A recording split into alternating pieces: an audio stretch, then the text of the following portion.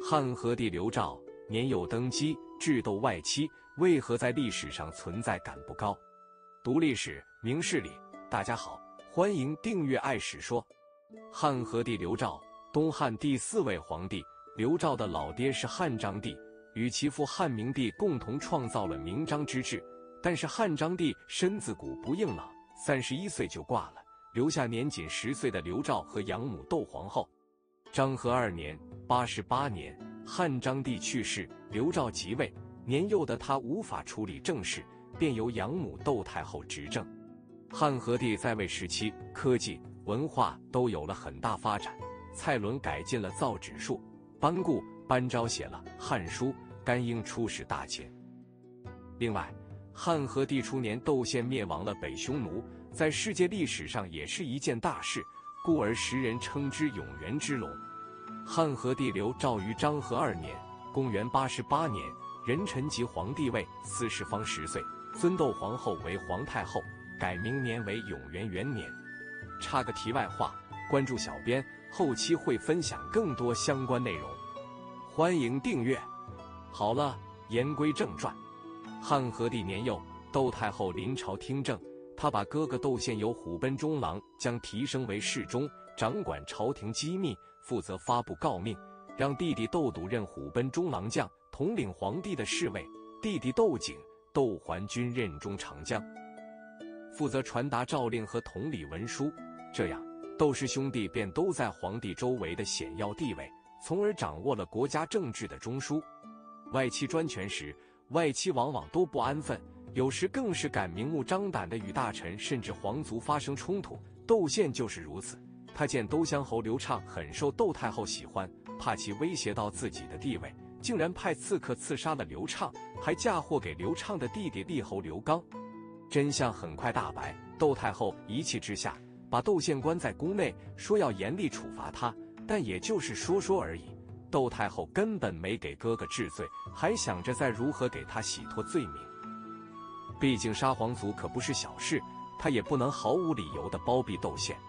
正好这时候漠北发生蝗灾，北匈奴没了粮食，大量南下。已经归附汉朝的南匈奴抵挡不住，请求东汉出兵合击北匈奴。窦太后不顾朝臣反对，派窦宪出征北匈奴，以期将功赎罪。永元元年（八十九年），窦宪和耿炳率军由朔方出塞，会同南匈奴单于万余精锐骑兵，在基洛山大败北匈奴。北匈奴单于逃走，汉军乘胜追击，一直追到燕然山，窦宪勒石济公而还。永元三年（九十一年），耿奎又大败北匈奴，将匈奴势力彻底赶出漠北地区。北匈奴残部西逃，开始了民族大迁徙。远征北匈奴胜利，窦宪的前罪在无人提及，还被升为大将军，位在三公之上。此外，何帝还诏封窦宪为武阳侯，十亿二万户。窦宪怕反响太大，辞去了封爵，但不可避免的。窦氏集团如日中天，气焰更加嚣张，像什么强抢民女、搭建豪宅什么的都是小儿科。窦宪甚至搞起特务政治、监视、刺杀，什么都来，就连他的门客也敢恐吓大臣。关键是有关部门根本不敢管。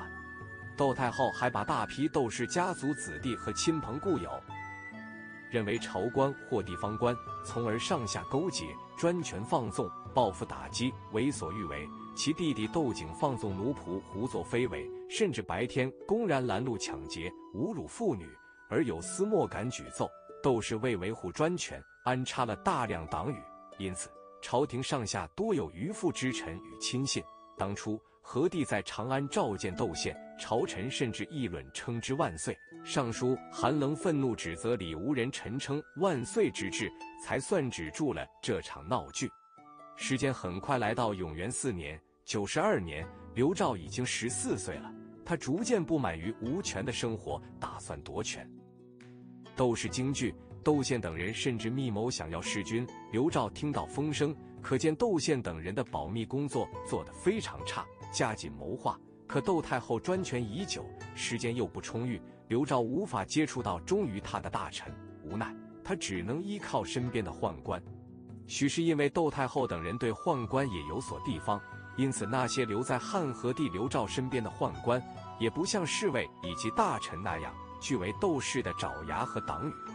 当时在随侍刘肇的宦官中，便有一个叫郑重的忠心之人，他不仅一心一意向着刘肇，并且本人也算是有些谋略。就在窦氏家族越来越无法无天时，这两人联手了。然后是刘氏宗亲，刘肇最信任的兄弟就是当年的太子，如今的清河王刘庆。刘庆经常出入宫廷，刘肇和郑重商议好对策之后，采取行动之前，他想从史料中寻求相关策略以作指导，于是密令刘庆从宫外为自己找来《汉书·外戚传》，从中搜集君主诛杀外戚的先例。在谈及窦氏的时候，郑重非常明确地对汉和帝刘肇说：“现在我们不能光想着躲避窦氏的迫害，必须得想办法将窦氏外戚的势力全部灭除。”对此，汉和帝刘肇可以说是举双手双脚赞成。两人经过商讨之后，决定先将窦氏外戚的骨干人员窦宪处理掉。另外值得一提的是，刘肇最开始其实想先搞定窦太后。不过，考虑到窦太后毕竟是自己名义上的母亲，如果对窦太后下手，自己的名誉肯定好不了。与其搭上自己，还不如选择势力与窦太后差不多的窦宪。此时的窦宪已经打完了匈奴，并顺利接管了东汉的军权。如果能够将窦宪除掉，那么军权势必会进行移交。所以，当窦宪班师回朝时，刘肇不仅命人到郊外迎接，还大家犒赏。按照将士的级别各有赏赐，汉和帝的表现让窦宪既感荣耀又颇自傲。等窦宪进城之后，汉和帝突然发难，将窦氏集团的成员郭举、郭晃、邓蝶等人进阶逮捕入狱，不久都被诛杀。紧接着，汉和帝下旨收回窦宪的大将军印绶，将其改封为冠军侯，同时勒令窦宪、窦笃、窦景兄弟几人都回自己的封地去。窦氏兄弟各回封地之后，很快就收到了汉和帝让他们自裁的旨意。一系列老练迅猛的操作，让人很难相信筹划这一切的只是一位十四岁的少年。如果让这位少年天子夺回大权后分享一句获胜感言，他肯定会深有感触地说：“读历史太有用了。”汉和帝成功夺回政权，亲政以后。刘肇每天起早贪黑，从不荒怠政事，而且他为政宽缓，很有他老爸汉章帝的作风。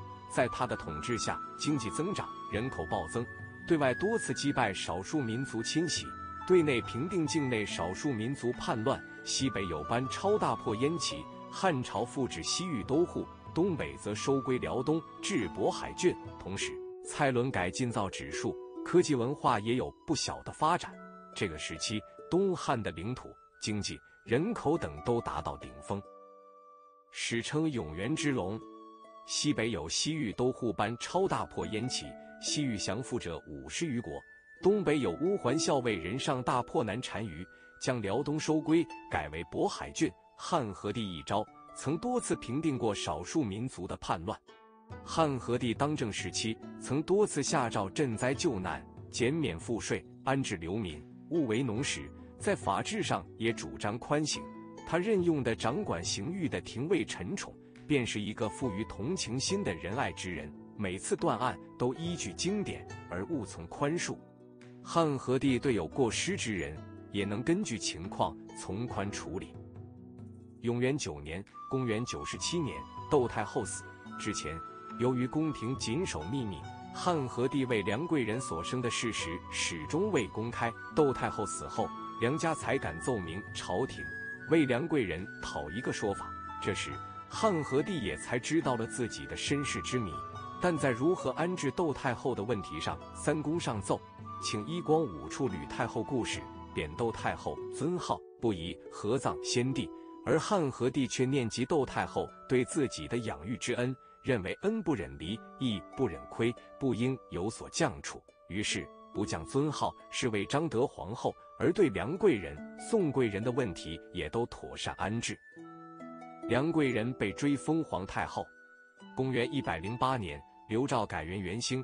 刘肇子掌权后，就勤勤恳恳地治理着国家，选贤任能，试图把已露出颓势的汉朝拉回来。他做到了。把东汉带到了顶峰，但他本就不好的身体，终于还是被繁杂的政务拖垮了。